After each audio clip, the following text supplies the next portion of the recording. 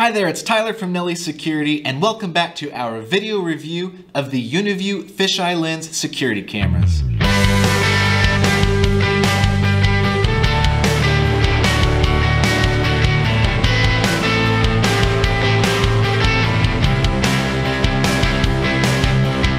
In today's video, we're going to be checking out a live install of one of these 12 megapixel fisheye security cameras, which we currently have set up in our warehouse. We have this installed on the ceiling right there in the center of the room.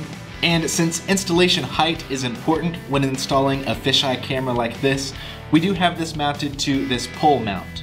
If we just had it mounted directly to that ceiling beam up there, the image probably would not look as good as it does. We've got a lot to cover in this video, so let's go ahead and jump right into the camera's web interface. And here we are at our camera's live view. Now we can see pretty much the whole warehouse here, on this fisheye lens. Uh, and we have a pretty big warehouse. But here we can see all four walls. We have the entrance here, our receiving area, and all these different warehouse shelves. It's pretty crazy that from this one camera, we have this huge field of view, and we can see everything that's going on in this warehouse. Now again, we have our 12 megapixel version installed here in our warehouse. This camera does come in 5 megapixels and 12 megapixels, and there are a few differences between the two cameras besides the resolution. As we get to a feature that is present here in the 12 megapixel version, but not present in the 5 megapixel version, I will let you know. Now let's talk about some of the ways that we can manipulate this live view. First we have the preview mode menu over here. As you can see, the original fisheye image is currently selected, but we can also change this to a 360 degree panoramic view. And as we do, we have the full panoramic view down here, and right here we have a dewarped version. And I can click in that window and drag around to change what part of the image I'm seeing. Or I can click on this little window down here and drag it to wherever on this panoramic view I want it to be focused. We also have a 180 degree panoramic view. This just splits that panoramic view in half. So we have both sides of the warehouse present here. And if I don't like the way this is positioned, I can drag this around to where here we have the front of the warehouse is in focus up here and the back of the warehouse is in focus down here. Finally, we have our various PTZ views. We have a 3 PTZ split view, a 4 PTZ, 6 PTZ, or 8 PTZ split view. And I can manipulate these PTZ views just like I could the panoramic view. I can click in there and drag wherever I want this image to be focused. Or I can click here on this window and drag it around the fisheye view. With this, I can also zoom in using my mouse wheel and zoom out. And as I do, you can see this window over here and our fisheye view gets bigger and smaller. Now here's the main difference between the 5 megapixel and the 12 megapixel fisheye cameras. With this 12 megapixel camera, I have a preview mode, but I also have an operation mode. With the 5 megapixel camera, I only have one fisheye menu. The difference here is as I'm messing around with these preview modes on the 12 megapixel version, or the various fisheye modes on the 5 megapixel version, it's not actually changing the way the camera operates. Let me show you an example. If I come over here to our panoramic view and click start recording, I can click and drag around on this camera screen and manipulate the view all I want, but it's not actually affecting the way this camera is recording. So even though I was in panoramic mode, moving the camera around, my recording is just this static fisheye view. But if I come in here and I change this operation mode to panoramic, and then come in here and do a local recording, we can see that the actual operation of the camera has changed Therefore, it's not recording the standard fisheye view, it's actually recording this panoramic view here. This concept is going to come in handy when I show you how to add this to your NVR here in a little bit. But just keep in mind, this is only available with the 12 megapixel version. With the 5 megapixel version, fisheye is the only operation mode, and therefore you can only change the preview mode. So just to sum all that up, the preview mode over here changes how you experience the live view, but it doesn't actually change anything about how the camera operates. Operation mode, on the other hand, will change how the camera operates and functions, which will affect how it is added to an NVR, and it will affect any NVR or SD card recordings. Let's go ahead and jump into the setup menu and I will show you a couple more features with regards to preview versus operation mode. First, if we head into our video and audio settings, you can see that here on our 12 megapixel version, we have our fisheye video settings, but we can also adjust separate video settings for our 4PTZ stream and for our panorama stream. You can see that even though we have the full 4000 by 3012 megapixel image available on the fisheye and panorama view, on the 4PTZ split view, we can only go up to 1080p. Alright, now I'm going to actually show you how to set this camera up on your NVR, but first there are a couple of things to keep in mind. We do have two different types of NVRs in our UniView product line. We have our full 12 megapixel NVRs that range from 8 channel to 64 channel, but we also have our light 8 megapixel NVRs, which range from 4 channel to 16 channel. So if you have a 12 megapixel fisheye, for instance, you won't be able to record the full 12 megapixel resolution on our light NVRs. However, even if you have the 5 megapixel fisheye, there still will be some benefits for you choosing a 12 megapixel NVR. The reason for that is our 8 megapixel NVRs do not have full functionality when it comes to fisheye controls and dewarping. We will talk more about those differences when we actually get to the NVR interface, but for now, just know that I am using our 12 megapixel 8 channel NVR for this demo. So we can see that we already have this fisheye added. We also have four additional channels from our PTZ.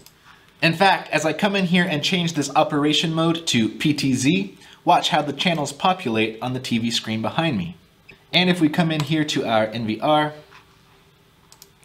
we can see that we now have these four channels and we these actually function as actual PTZs. So I can use the PTZ controls here on the screen or here on this side panel to move the camera around and get the exact configuration that I'm looking for.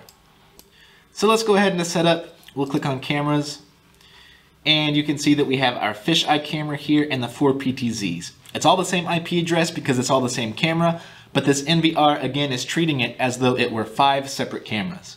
Now to add this camera, you would come over here to auto search and find the camera in question, which is this IP address .88. And you can see here that we have five cameras available because we are in PTZ mode. If I were to come back in here and go to regular fisheye mode and click auto search, scroll down to .88, you can see that we now only have one camera available. Now that we have this camera added to our NVR as well as the various PTZ views, let's go ahead and jump onto the HDMI interface and we will see everything we can do straight from the NVR. And here we have our fisheye camera. Notice that here on the 12 megapixel NVR, we do have these fisheye mode functions which, just like on the web interface, let us switch to these different views. Like our 360 panoramic view, I can click and move this around just like I can on the web interface. We also have our 180 degree panoramic view and our various PTZ preview modes. And again, we can have up to eight different PTZ views. And I can click on this image here and drag them around. So I can focus one on Jarrell here, put another one there on Jared's desk. I can grab one to throw over there at the entrance of the warehouse. You get the picture. Just keep in mind that this is only changing the display mode. As I mentioned earlier, these dewarping modes change how we experience the fisheye view, but it's not actually changing how the camera operates. So if I were to exit our fisheye controls and go into playback, we can see that nothing in the last couple of minutes has actually changed on the playback even though we were messing around with the different views. However, even when we are in playback here, we can open fisheye mode and activate these panoramic views or PTZ views to dewarp these images as they're playing back. So this is not real time right now, this was just a couple of minutes ago, but I can also go to say 2 o'clock this morning and we can check out that 30 foot IR range here even though this was recorded at 2 o'clock this morning, I can still interact with this fisheye view through these dewarping methods. I can also go into my PTZ modes here. So when the camera is in fisheye operation mode, we are able to still manipulate these views during playback. Let's go ahead and change the operation mode from fisheye to PTZ. To do that, we're gonna go back to our menu and we're gonna click here on this fisheye menu we'll click Edit and change the mode to Fisheye plus 4 PTZs. With these boxes selected, those 4 PTZs are going to be enabled on those four different channels. So when I click Apply and head back to my live view, we can now see that I have five channels populated by this camera. We have our fisheye view up here and our four PTZs. Now each of these PTZs act like a completely different camera since they are on different channels. I can do anything with these five channels that I would be able to do with five individual cameras. So that's a really cool feature of these fisheyes. But here's the difference that I want to point out. If I want to move these PTZs around, I have to go into the PTZ controls because the NVR is treating this as if it were an actual PTZ. So to move it, I can pan, I can tilt, and I can zoom, just like I could on a regular PTZ camera.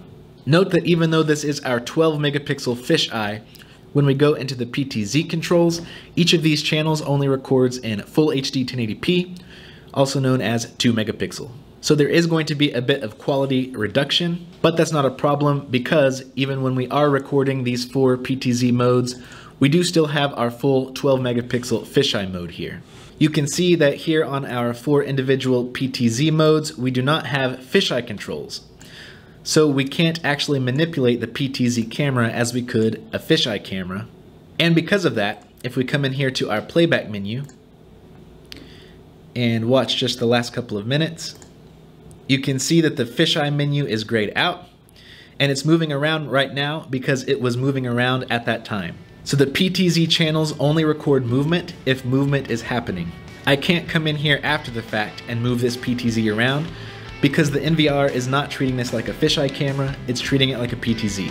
However, since these are on different channels, I can come in here and select my fisheye, and for the last couple of minutes, hit play.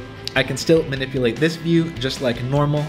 So adding these extra PTZ views, or this panoramic view, doesn't actually mean we're going to be missing out on anything happening in this camera's wide field of view. We will still have access to the full fisheye image through this first channel. A big difference to keep in mind between the 8 megapixel NVR and the 12 megapixel NVR is that only the 12 megapixel version is able to display these dewarping views directly from the NVR's live interface. The lighter 8 megapixel NVRs do not have these fisheye functions. You can still add your fisheye camera, but you won't be able to de-warp it in real time or during playback. However, even with the 8 megapixel NVRs, if you log into the web interface, you will still have access to the fisheye de-warping controls. You just won't have it available to you on the NVR's HDMI interface. Well, thanks so much for watching this video. I hope you learned something about our UniView fisheye cameras and if you still have any questions about these cameras or about anything else, feel free to contact us anytime. We're always happy to help. If you enjoyed this video, go ahead and give it a like, subscribe to our YouTube channel, and follow us across social media so you never miss another security related video. Thanks so much for watching, and I will see you next time.